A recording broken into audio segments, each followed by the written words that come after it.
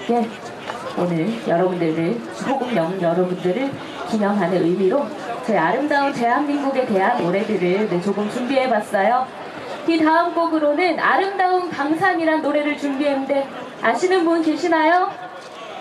네 그럼 아시는 분들은 다 같이 따라 부르면서 신나게 즐겨주시길 바랄게요. 그럼 바로 음악 주세요.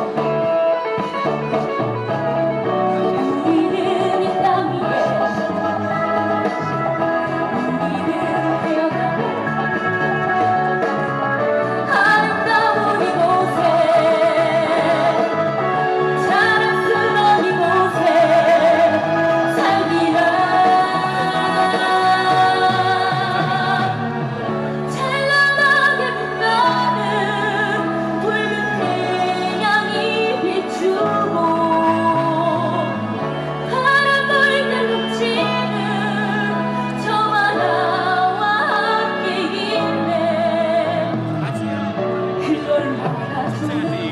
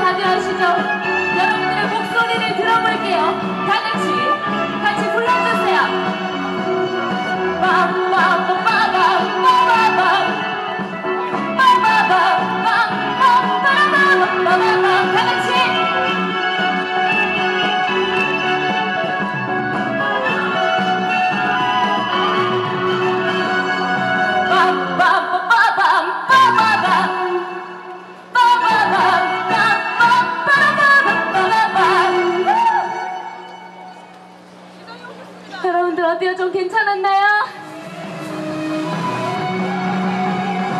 하늘은 조각구름 떠있고 강물은 유럽선이 떠있고 저마다 누려야 할 행복이 언제나 자유롭고. 그렇지만 사계절 부끄럼 정이 드는 산과 우리 마음속에? 우리 마음속에 이상이 끝없이 펼쳐지는 거. 원하는 것은 있고 따뜻한 것은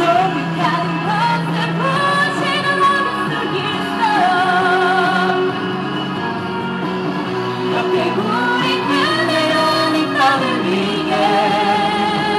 이렇게 우리 네